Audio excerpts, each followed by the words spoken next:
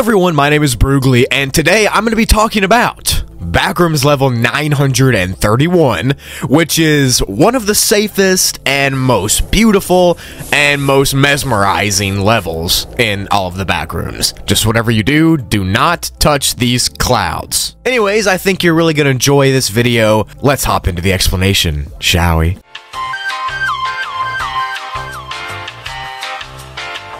So Backrooms level 931, or the Leafy Corridors, has a classification of Class 0, and it's safe and stable and devoid of entities, question mark. So it most likely is devoid of entities, but we don't really know. It's just up for debate. The beginning of the level shows itself as a long and winding concrete hallway that's huge and has really tall ceilings and big glass windows on the left side. These windows are huge rectangles that look over this beautiful sky scene, and it's always this sunset time of day when you look outside. The ground of the hallway is made out of grass and flowers, and it gives off this eerie but relaxing feeling, almost like you've been there before. The sun that shines through the big windows gives this entire level a bright kind of glow that has a similar healing effect and calming effect that almond water does. So just by walking through the hallways, you'll you'll feel more alive and more comfortable, and you'll start healing more. And you'll just feel awesome. I mean, how can you not? This entire level gives off a feeling of comfort and peacefulness, a feeling of liminal heaven, if you will. It almost feels like an art piece in a way because it's so beautiful and eye catching. Or maybe I'm just crazy and I'm looking into it too much. I think it's beautiful. The windows here actually don't have glass on them, so theoretically, you could just walk right out into the clouds to the side, but whatever you do, do not do that. You need to avoid the clouds at all costs, and I'll explain why later in the video. Just know that you gotta trust me. And I've never lied to you about anything backrooms related so far, so just trust me. So those grassy corridors that I just explained, that's the start of the level. It's kind of the zone where you'll spawn in and you'll be at for a while, but after you walk through it for a long time, you'll actually end up going to the second part of the level, which is just called Part 2. I know that's a crazy name, but you know.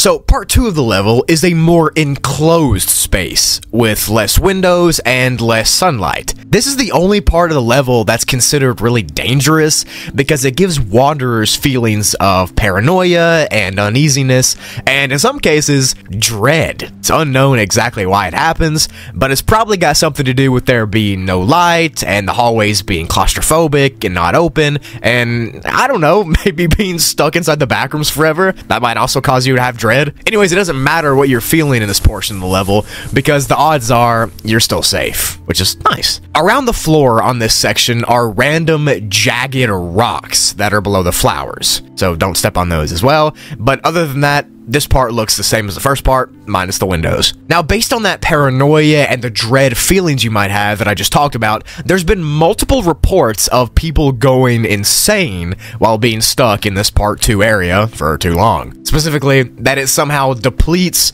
and lowers your sanity way faster than the other section. Because if you remember, the other section has that sunlight that gives you a healing property and kind of keeps you sane and calm. Well, this section doesn't. In order to counteract this effect, you just need to drink a bunch of almond water before you come here, and that should work, hopefully. But even if you drink almond water and aren't the type to go crazy, these darker areas will make you paranoid, and they probably will make you feel like something is right outside of the light and about to attack you. Who knows if there's something there? I hope there's not, but there might be. Now, after this first and then second part, there's a very rare and unexplored third part of the level that can also be dangerous if you don't explore it properly.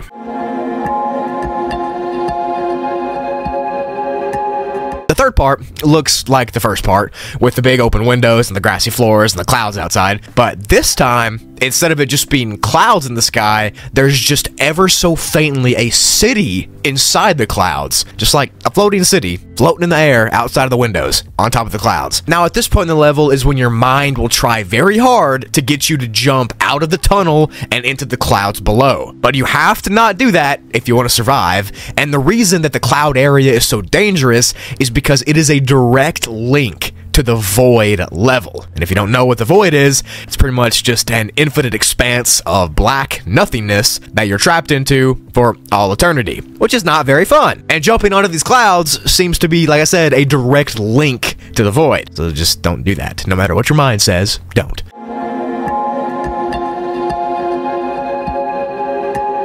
The last part of the level is the fourth part, of course, and it's also where the exit is. Eventually, these grass halls will slowly start to transform into an area that's similar to an old abandoned mall. And when this happens, you'll know that you've successfully escaped and made it out to tell the tale. Now, this mall area isn't listed as an exit or a different level, so it's unknown if it's an actual level or if it's part of this level, level 931, but you can no-clip through a wall to be sent out of this level to another one, so I guess it is an exit. But this mall area just looks like your typical abandoned mall that no one's been to for a while. It's very liminal, it's very cold and damp, you get the feeling. But besides a very small portion of this level, most of it is a beautiful, serene, safe, and just glorious looking level, and it's a real paradise if you're looking for a semi-infinite sunny hallway to lay down in the grass forever on. Now, if you're not looking for that, well, there's like a billion other backrooms levels that you could choose from. But this one's definitely pretty cool.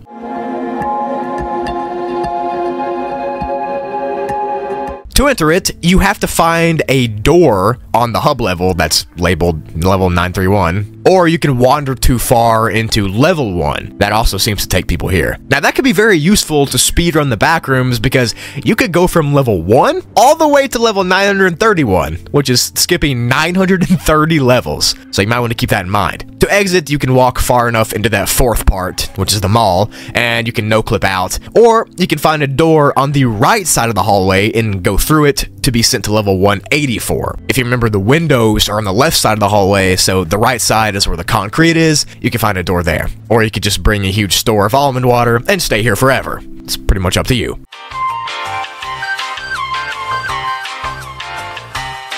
That's it for the video. Thank you so much for watching. I hope you enjoyed my explanation of this level. Let me know in the comments if you did, and what other levels that you would like to see me explain. I remember seeing this level in a video by Into the Hyperverse, which you saw some of the footage in this video.